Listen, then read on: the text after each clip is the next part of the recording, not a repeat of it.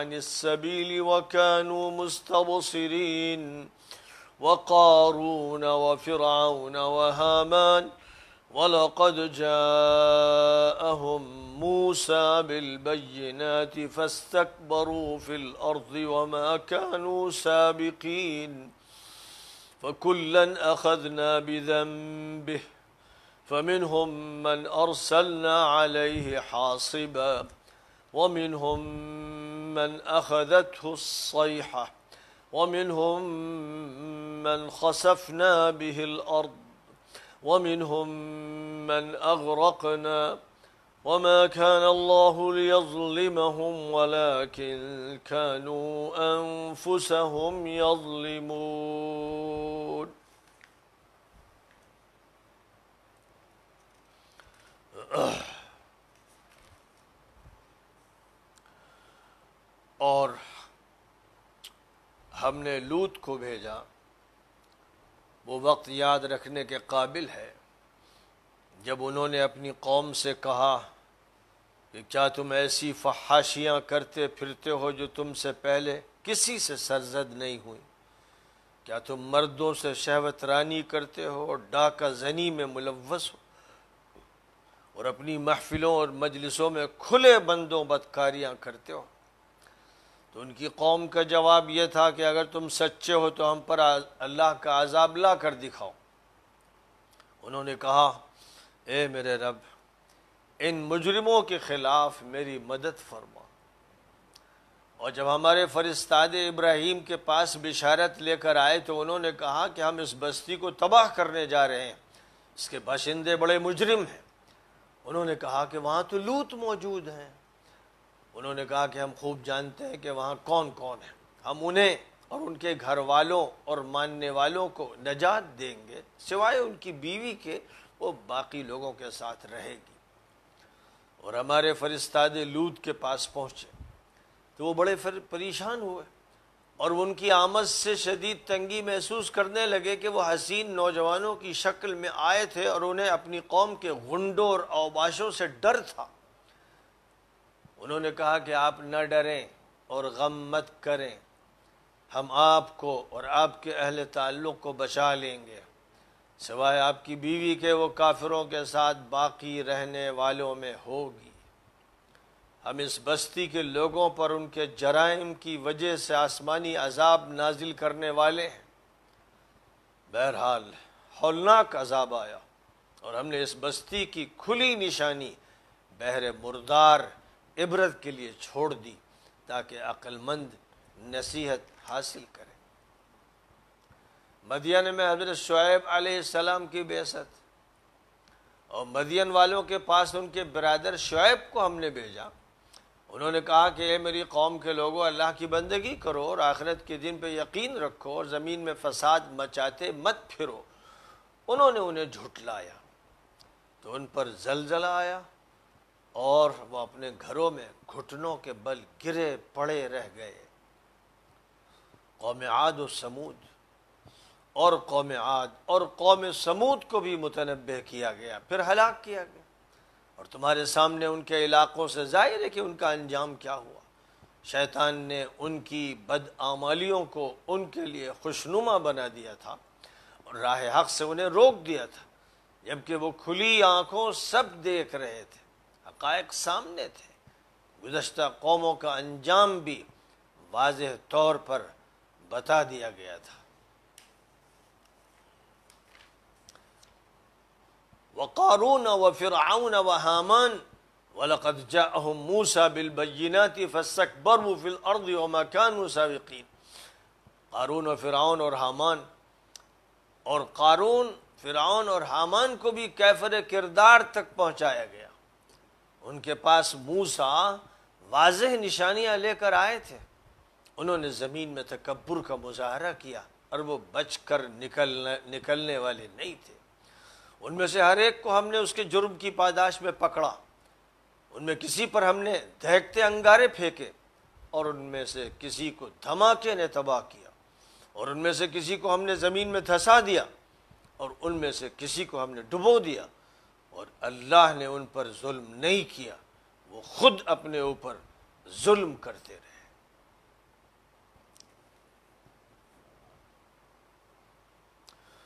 सूरतुल अनकबूत की आयात करीमा आपके सामने पढ़ी गई और इनका तर्जमा पेश किया गया। ये आयात करीमा आयत नंबर अट्ठाईस से शुरू होती है और आयत नंबर चालीस पर ख़त्म होती है। ये वो आयात करीमा हैं जिनमें अल्लाह ताला ने कौमों के अंजाम का तस्करा किया अल्लाह ताला ने किसी कौम को भी इससे महरूम नहीं किया कि उस कौम के दरमियान किसी न किसी पैगंबर को मबूस फरमाया, उस कौम की हिदायत के लिए इंतज़ाम किया।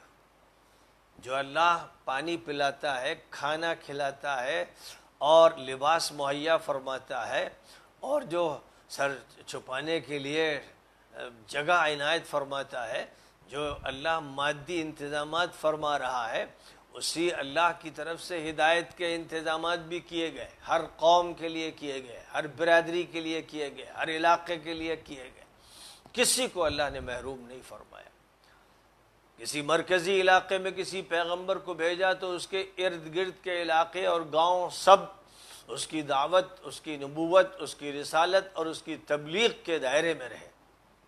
और इस तरह किसी फ़र्द को भी ये कहने का मौका नहीं दिया गया कि हमारे पास कोई नबी नहीं आया, कोई पैगंबर नहीं आया, कोई रहबर नहीं आया।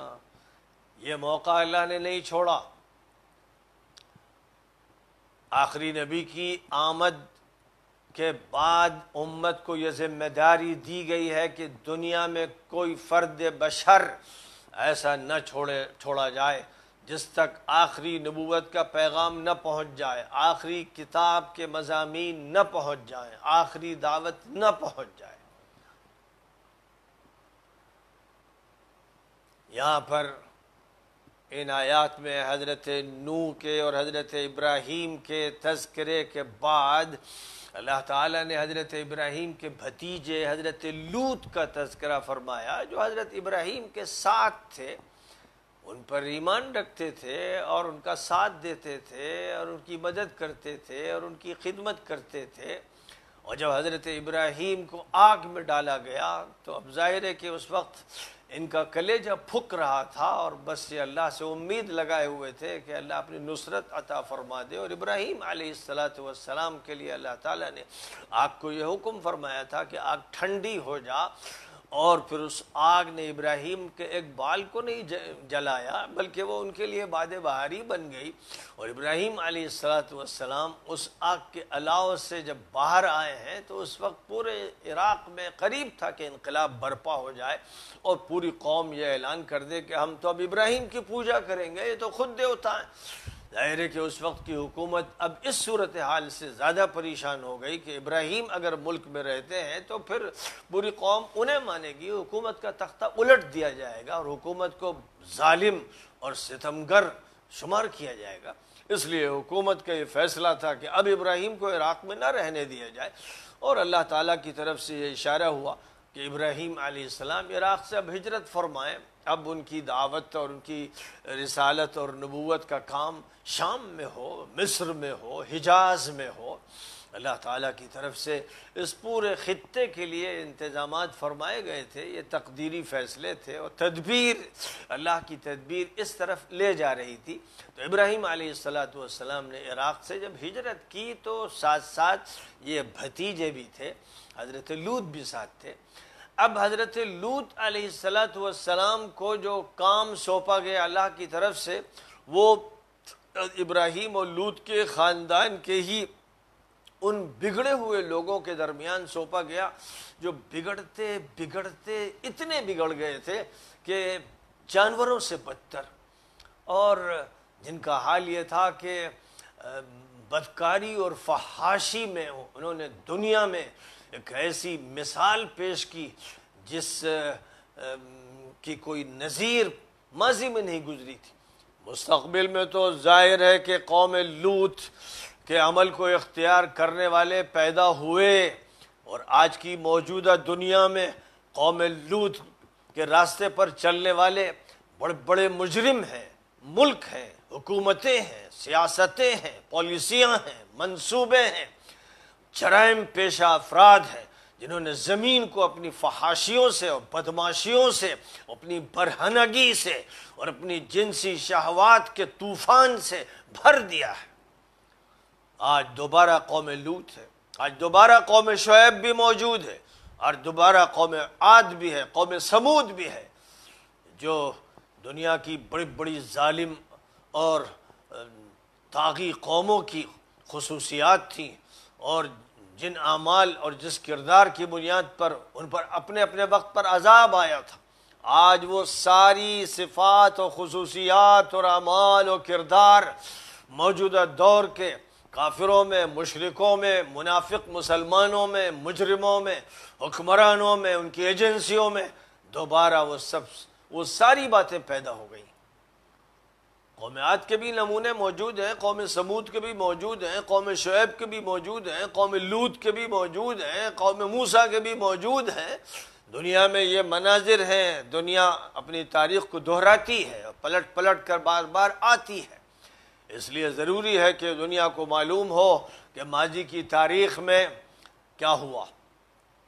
लूत सलाम को जिस इलाके की तरफ़ मबूस फरमाया गया था मुतद बार मुतद बार मुतद बार मुतद बार, ये बताया जा चुका है कि जजीरतुल अरब का शिमाली जो इलाका है, जो सीरिया से मिलता है सीरिया से मिलने वाले इस खत्े में जो बाद में जॉर्डन के नाम से मुल्क नमूदार हुआ, इसी जॉर्डन और पैलेस्टाइन की सरहदों से मिलने वाली वो जगह जिसको डेड सी कहा जाता है, बहर मैत है, यही वो इलाका था जहाँ पर लूत की कौम का शहर सद्दूम आबाद था। ये सद्दूम का इलाका था।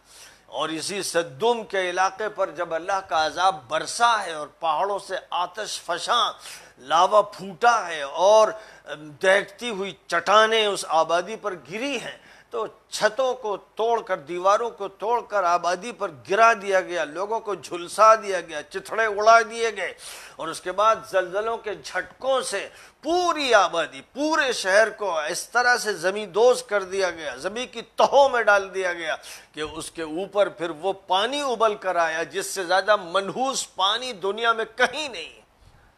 वो बहर मैत इसीलिए कहलाया, डेड सी इसीलिए कहलाया कि मुर्दार पानी, ये मुर्दार पानी यही है जहाँ कौम लूत को अजाब दिया गया है।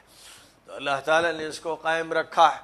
आगे अभी जब ज़िक्र आएगा, इसमें कौम, मदियन का, हज़रत शुएब की कौम का तो हज़रत शुएब की कौम भी इसी इसी इलाके में जजीर नुमा सीना के मगरबी साहिल से के सामने जो मशरकी साहिल है, ये वो जगह है जहाँ पर मदियन कौम आबाद थी, जहाँ एक मौके पर हज़रत मूसा, मिस्र से जजीर नुमा सीना का सफ़र करते हुए वारिद हुए थे। जहाँ मदियन की कौम आबाद थी। कुछ नीचे उतर आइए, तबूक से ज़रा नीचे उतर आइए।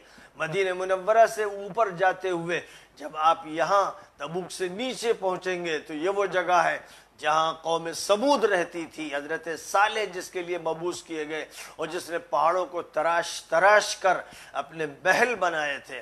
और अगर आप नीचे उतरे उससे पहले जो कौम इस दुनिया में आबाद हुई, कौम नू के बाद जो इराक में थी, वो कौम आद थी, जो इस खत्े में आबाद थी। ये पूरा खत्ता जो बाद में अरुबुल खाली कहलाता है। यानी खाली किस्म का वो चौथा हिस्सा है, जजीरतुल अरब का। जो रेगिस्तान है, खौफनाक रेगिस्तान, अजाब का रेगिस्तान, अल्लाह की तरफ़ से एक एक निशानी, ये वो रेगिस्तान है जिसके उदूद यमन से मिलते हैं, ओमान से मिलते हैं। ये वो इलाका है जहाँ कौम आद रहती थी, जिसको बुरी तरह तबाह किया गया था, सुखा दिया गया था और खजूर के तनों की तरह उनकी लाशें कटी हुई पड़ी थी। ये वो इलाका है। ये सब ऐसे इलाके हैं जिनसे अरब में रहने वाले मक्के में रहने वाले, मदीने में रहने वाले और दीगर इलाकों में रहने वाले खूब वाकिफ थे। उनकी शायरी में उनके तस्करे उनकी नसर में उनके तस्करे उनके किस्सों में उनके तस्करे और इनका सफ़र यमन की तरफ़ होता था और शाम की तरफ़ होता था। तो जब शाम जाते थे, कौम समूद के इलाके से गुजरते थे मदियन के इलाके जाते थे, कौम लूत के इलाके से गुजरते थे, फ़लस्तीन जाते थे और सीरिया के मुख्तलिफ़ इलाक़ों में। इसलिए ये वो ख़त्ता है जिसमें जो कौमें थी किसी ज़माने में जिनका नाम निशान मिटा दिया गया और उन पर अल्लाह का अजाब आया, उनमें पहले ज़िक्र फरमाया गया कौम लूत का। कौम लूत दुनिया की फहाश तरीन कौम थी। तारीख में पहली मरतबा। ये वाक़ पेश आया था कि मर्द मर्द से जिनसी ताल्लुक़ कायम कर रहा था औरत औरत के साथ जिनसी ताल्लुक़ कायम कर रही थी, इंसान सुअरों से बदतर हो गया था, कुत्तों और कुतियों से बदतर हो गया था। ज़ाहिर है कि जानवर तो फिर भी अपनी नेचर के मुताबिक जो अमल करते हैं, सो करते हैं, लेकिन इंसान की जब गिरावट होती है तो वो कुत्तों से बदतर हो जाता है। और आज की जो मौजूदा यूरोपियन ज़िंदगी है, अमेरिकन ज़िंदगी है, कैसे ही ठाट बाट हो, कैसी उम्दा सड़कें हो, और कैसी टेक्नोलॉजी हो, कैसी ज़ाहरी तरक्याँ अखलाकी एतबार से माशरती एतबार से उस कौम का ऐसा जवाल हुआ है और उस कौम की हैवानियत और दरिंदगी के ऐसे ऐसे मुजाहरे सामने आए और उस कौम ने फहाशी की वो हदें पार की हैं जिनका तस्वुर पहले नहीं हो सकता था। तो आज मौजूदा अमेरिका और मौजूदा यूरोप कौम आद भी है, कौम समूद भी है, कौम शुएब भी है कौम लूत भी है। उन तमाम गुजशत कौमों के जराइम और उनके बदतरीन गुनाह आज के इस दौर के माशरे में ज़िंदा हैं, देखे जा रहे हैं। और फिर ज़ाहिर है कि यूरोप और अमेरिका की तकलीद पर मरने वाले वो वो नकलची नकलची बंदर जिनकी फितरतें मस्क हो गई, वो एशिया के वो अफराद और हिंदुस्तान के और पाकिस्तान के और मुख्तलिफ़ मुल्कों के वो अफराद जिन्होंने अमरीका और यूरोप के तलवे चाटे और जिन्होंने उनकी बद तहजीबी को तहजीब कहा और जिन्होंने उनकी बद अखलाक़ी को अखलाक कहा और जिन्होंने उनके बद इल्मी को इल्म से ताबीर किया। आज वो भी मायूसियाँ देख रहे हैं, लेकिन उनकी हालत ऐसी हो गई है जैसे किसी को अफीम खिलाई जाए। जैसे कोई हीरोइन का आदि हो जाए और फिर किसी का गुलाम हो जाए और उसको नाली का कीचड़ चटवाया जाए। आज जो अमेरिका और यूरोप के मतवाले हैं, उनके नकलची हैं, उनके मुकलद हैं, उनके ताबे हैं, जो उनकी तहजीब को तहजीब कहते हैं, उनका यही हाल है कि अखलाक के अखलाक के कीचड़ से वो वो अपनी ज़बान को तर कर रहे हैं। जहाँ पर बद तहजीबियों को आम किया गया, वहाँ पर वो अपनी ज़िंदगी को तमाम कर रहे हैं। ये वो सूरत हाल है। फरमाया गया कि हज़रत लूत सलाम जब अपनी कौम को खिताब फरमाते और ये कहते हैं कि तुम कितने फहाश हो, कितने बदमाश हो, मुशरक भी हो और आखिरी दर्जे के बदमाश हो, तुम्हें शर्म नहीं आती, तुम तौबा नहीं करते। तो कौम रद्द अमल में, गुस्से में कभी तो ये कहती थी कि हम इनको निकाल बाहर करेंगे, बड़े नेक बनते हैं, बड़े पाकबाज बनते हैं। और यहाँ पर ये नकल किया गया कि कौम के लोगों ने कहा कि अजाब की धमकियाँ मत दो, लाओ अजाब दिखाओ। अगर तुम सच्चे हो तो अजाब ला कर दिखाओ। ये चैलेंज किया जाता है पैगम्बरों को। हर दौर में पैगम्बरों को सामना करना पड़ा इल्ज़ाम का, गालियों की बौछार का, हर तरह के सितम का और जुल्म का, और इस तरह के चैलेंजों का। ज़ाहिर है कि उनका तो ताल्लुक़ अल्लाह से होता है, वह अल्लाह के फरिस्तादे होते थे, और अल्लाह से ही मांगते थे, अल्लाह पर तवक्ल करते थे, और जब पानी सर से ऊपर हो जाता और अल्लाह की तरफ़ से इशारा हो जाता कि बस तुम्हारा काम जो होना था सो हो गया। तो वो आखिरी बद अपनी कौम के लिए, अपनी कौम के ख़िलाफ़ करते थे कि अल्लाह पानी सर से ऊँचा हो गया। यहाँ पर भी हज़रत लूत ने कहा रबिन सुरनी अलकौमिलमुफसिदीन अल्लाह, इन फसाद कारों इन गुंडों और बदमाशों के ख़िलाफ़ अब मेरी मदद फरमा दे। अब मेरी मदद फरमा दे। जो काम तूने सौंपा था मैंने किया। बहरहाल, अल्लाह ताला ने लूत की सुन ली और तरतीब इस तरह तय हुई अल्लाह की तरफ़ से कि जो अल्लाह के फरिश्ते हैं, जो कारोबार ज़िंदगी को, कारोबार निज़ाम को, अल्लाह के निज़ाम को, अल्लाह के हुक्म से चलाते हैं, अल्लाह की हुकूमत के वो खिदमतगार हैं और कारकुन और रज़ाकार हैं। जिनको अल्लाह ताला जो काम भी सौंपता है, वो उसको अंजाम देते हैं। तो अल्लाह ताला की तरफ़ से फैसला हुआ कि कुछ फरिश्ते इब्राहिम के पास जाएँ। बिल्कुल अजनबी मुसाफिर बनकर। ये अल्लाह की तरफ़ से पैगंबर की आजमाइश भी थी और कुछ नमूने थे जिनको पेश किया जाता है ताकि लोगों को मालूम हो कि उनके साथ जो मामला होगा, जिस तरह होगा उसके राजों को अल्लाह जानता है और इंसान पहचान नहीं पाता। इब्राहिम सलाम ने जब देखा इन नौ वारिदों को तो यही समझा कि मुसाफिर हैं।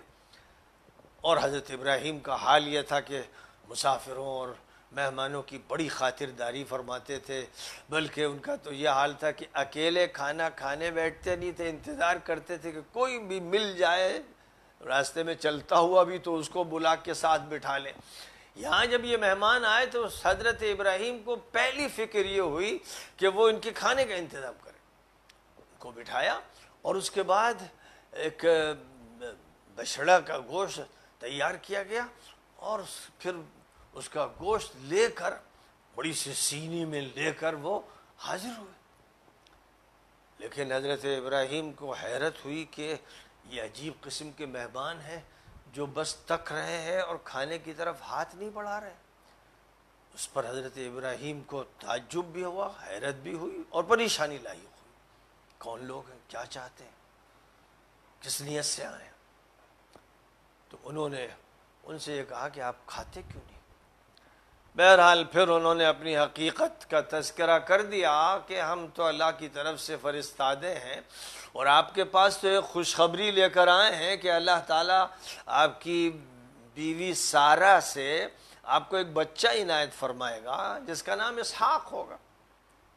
इस्माइल पहले पैदा हो चुके थे अकलौते बेटे थे और अब जो उनको बिशारत दी जा रही थी, वो हज़रत इसहाक की बिशारत दी जा रही थी।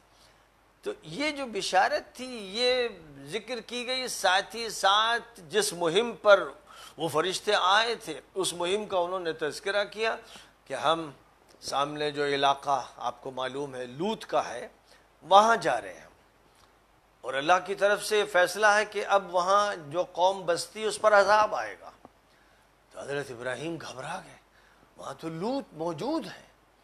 कहा जाता है कि हज़रत इब्राहिम सीरिया में फ़लस्टाइन में, हेब्रून का जो इलाका है, जिसका नाम बाद में अल खलील रख दिया गया, वहाँ मौजूद थे उस पहाड़ी इलाके से जो सद्दूम की बस्ती है, जो बहुत ही नीचे है, नशेबी इलाके में, वो दिखती है।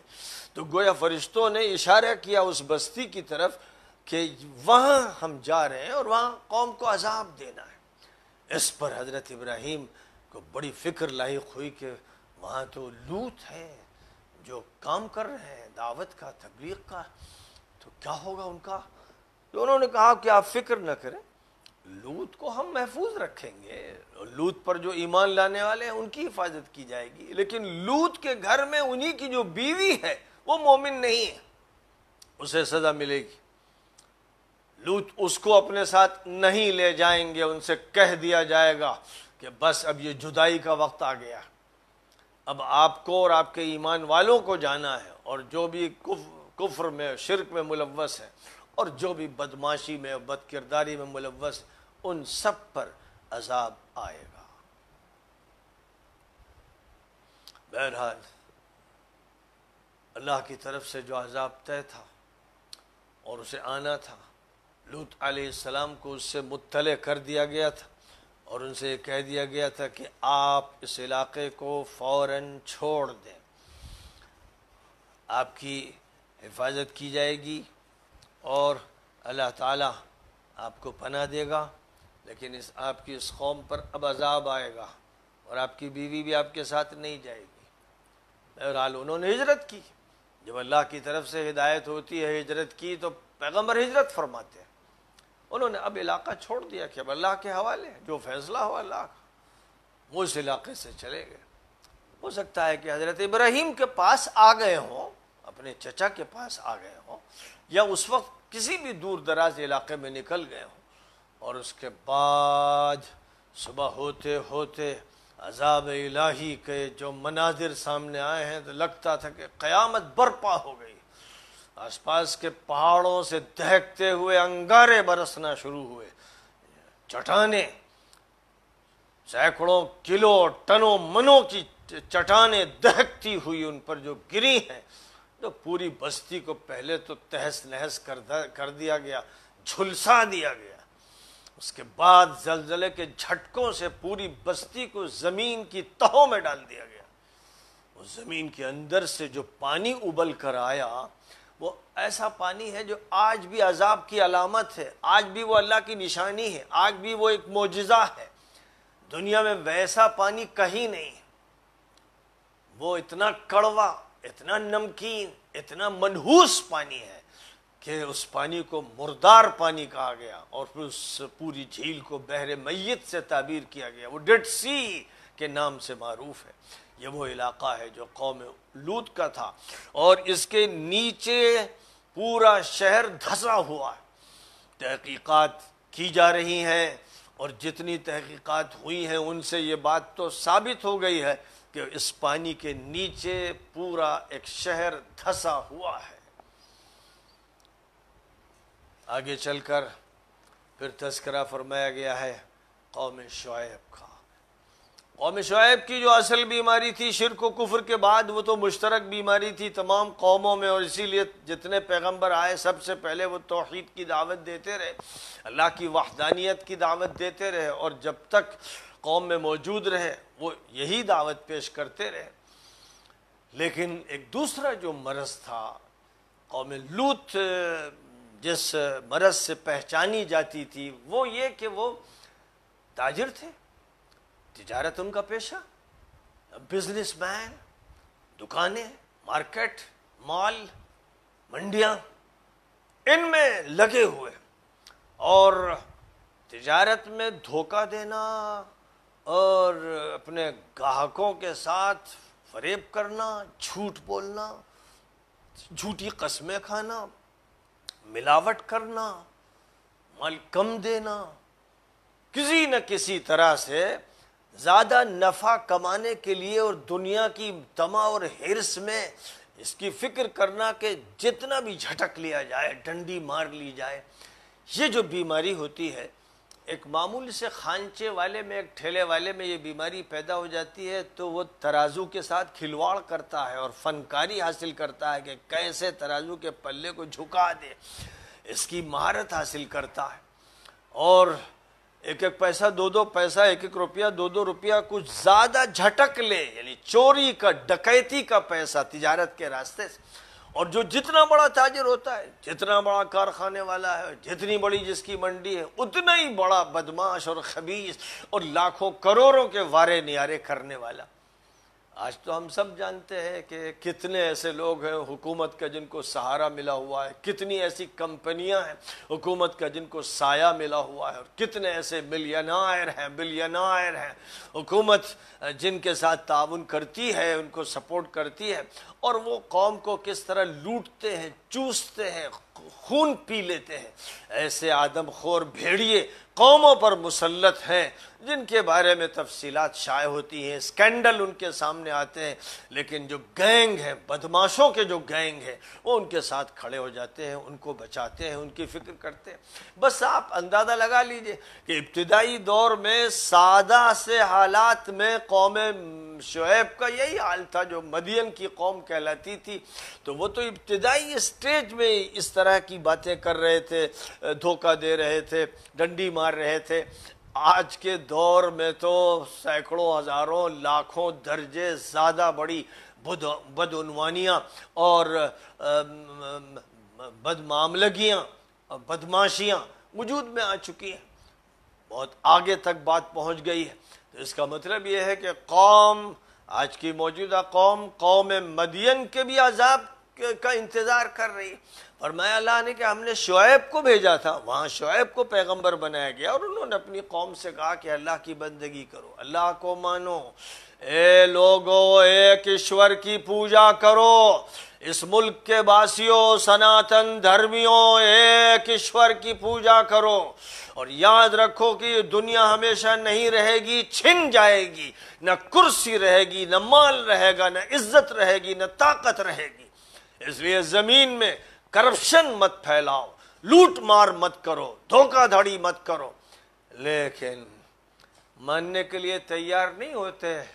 वो लोग जो मदहोश होते हैं और जो नशे में धुत होते हैं और जिनको जिनको ना अल्लाह का ख्याल होता है, ना पैगंबर का ख्याल होता है, ना आखिरत का ख्याल होता है। बहरहाल कौम ने झुटलाया। और फिर अल्लाह कहता है कि फिर हमने जलजलों के झटकों में उनको ऐसा पकड़ा कि खौफ और दहशत से वो मिसल गठरी के बन गए। और हर तरफ़ ऐसा लगता था जैसे इंसानों को गठरी की शक्ल में बाँध बाँध कर उनकी लाशों को फेंक दिया गया। यह अजाब का मंजरनामा था। फिर बहुत इख्तसार के साथ फरमाया गया कि कौम आद और कौम समूद का भी यही हाल रहा। और तुम्हें तो मालूम है, तुम तो गुजरते हो।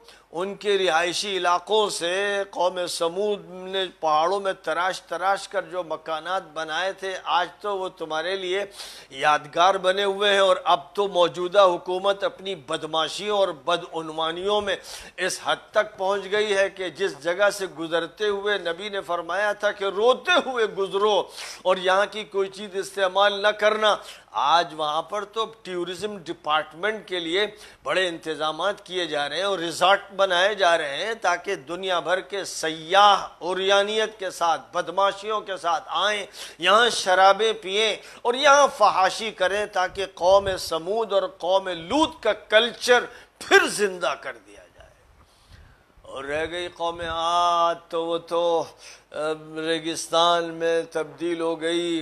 रियाज के नीचे से चले जाइए, ओमान और यमन के शमाली बार्डर तक। तो ये पूरा जो रेगिस्तान फैला हुआ है, ये किसी ज़माने में चमनिस्तान था।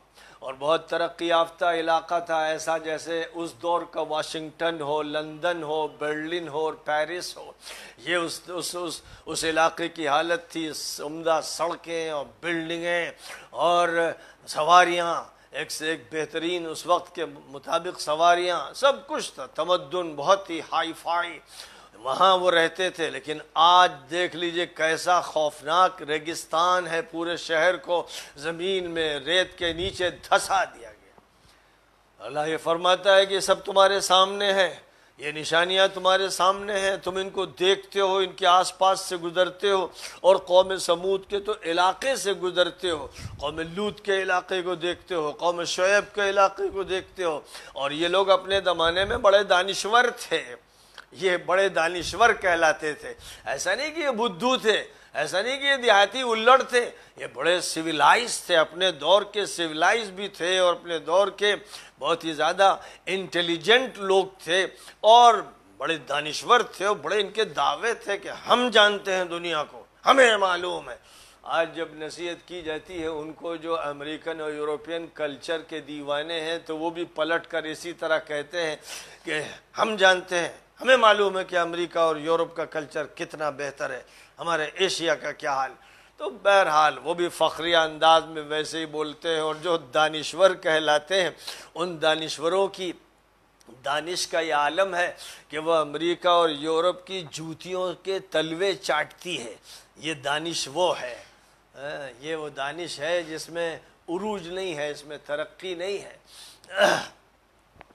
तो बहरहाल इस दानिश में जो मुबतला है, उनका यही हशर होता है। फिर आगे चलकर ज़िक्र किया गया, कारून का, फ़िरौन का, हमान का। इनके पास अल्लाह ताला ने हज़रत मूसा को भेजा था। दलाइल देकर मोजात देकर, निशानियाँ देकर भेजा था। लेकिन कहाँ मानने वाले थे? जैसे माजी की और जालिम कौमों ने नहीं माना, उसी तरह इन्होंने नहीं माना, और वो अल्लाह के अजाब से और गिरफ्त से बच तो सकते नहीं थे। अब बड़ा इख्तसार करते हुए आखिर में ये फरमाया गया कि ये जो कौमें थीं और ये जो जालिम लोग थे, इनमें से किसी को भी हमने छोड़ा नहीं, उनको पकड़ा, उनको सज़ा दी। किसी पर हमने आंधी चलाई और किसी को के चिंगाड़ों और जलजलों के झटकों और एक शोर और हंगामों के ज़रिए उनको हमने तहस नहस कर दिया। और किसी को हमने ज़मीन में धंसा दिया, उसको और उसके महल को, जैसे कारून का हशर हुआ किसी को डुबो दिया, जैसे फ़िरौन को और उसके लश्करियों को। इस तरह हमने इन ालिम कौमों को अजाब दिया। कौम आद पर ख़तरनाक आंधी चलाकर कौम समूद को जलजलों के छटके देकर और कारून को ज़मीन में धंसा कर और फ़िरौन को डुबो कर। फिर आखिरी बात ये फरमाई गई, वमा अल्लाह उन पर जुल्म नहीं कर रहा था। वलाकिन वो खुद अपने ऊपर जुल्म कर रहे आज भी सुन ले, वो सब कि जो अल्लाह की बंदगी नहीं कर रहे हैं, जो नबी की बात नहीं सुन रहे हैं, जो आखिरत पर ईमान नहीं रखते हैं और अपने को दानिश्वर समझते हैं और इन दानिश्वरों के जो चैले चपाटे हैं, मुजरिम गुलाम, ये सब समझ लें कि उन्हें अजाब का इंतज़ार करना चाहिए। अगर वो तौबा नहीं करते हैं तो अल्लाह ताला किसी न किसी शक्ल में उनको तहस नहस कर देगा। या तो किसी दुश्मन को मुसलत कर देगा और वो उनका खात्मा कर देगा। और आज के दौर में तो किसी दुश्मन को मुसलत करने का मतलब ये है कि धमाकों से चिथड़े उड़ा दिए जाएँगे। अब तो जिस तरह पहले पहाड़ों से अंगारे बरसाए जाते थे, अब जहाज़ों के ज़रिए से अंगारे बरसाए जाते हैं और ऐसे नहीं अंगारे, बल्कि ऐसे ऐसे बम जिनसे पूरी पूरी बिल्डिंग पूरा पूरा महल्ला तहस नहस हो जाता है, उसके चिथड़े उड़ जाते हैं। अजाब इलाही की ये भी शक्ल है, कुरान में इसको भी बयान किया गया कि हम चाहेंगे कि तो दुश्मन तुम पर मुसलत कर देंगे और फिर इन दुश्मनों के ज़रिए कौन कौन से अजाब आएँगे? वो हदीसें जो फितन और मलाहिम की कहलाती हैं, उनमें नबी पाक सलाम ने लफ्ज़ इस्तेमाल किया कि कसफ होगा और मस्क होगा और खसफ होगा। यानी उन पर उन पर बम मारे जाएँगे। वो लफ्ज़ बमों का उस वक्त मौजूद नहीं था लगत में, लेकिन कज़ का जो लफ्ज़ बोला गया, वो कज़ का वो लफ्ज़ बमों पर इस्तेमाल होता है। तो ये फरमाया गया कि उनको ऊपर से मारा जाएगा, उन पर बम फेंके जाएँगे, उनके चेहरे मस्क हो जाएँगे, जिसम उड़ जाएँगे, और फिर ज़मीनों में उन्हें धसा दिया जाएगा। ये बात अल्लाह के नबी सल्लल्लाहु अलैहि वसल्लम ने भी बात के दौर के बारे में फरमाई है। आज हम देख रहे हैं उन्नीसवीं सदी से, फिर बीसवीं सदी में तो बे इंतहा ज़्यादा और इक्कीसवीं सदी में तो अब उरूज पर ये मजालिम पहुँचे हुए हैं और इंसान की ज़िंदगी की कोई हैसियत नहीं रह गई है। वाखिर दावाना अनिलहमदिल्ला रबालमी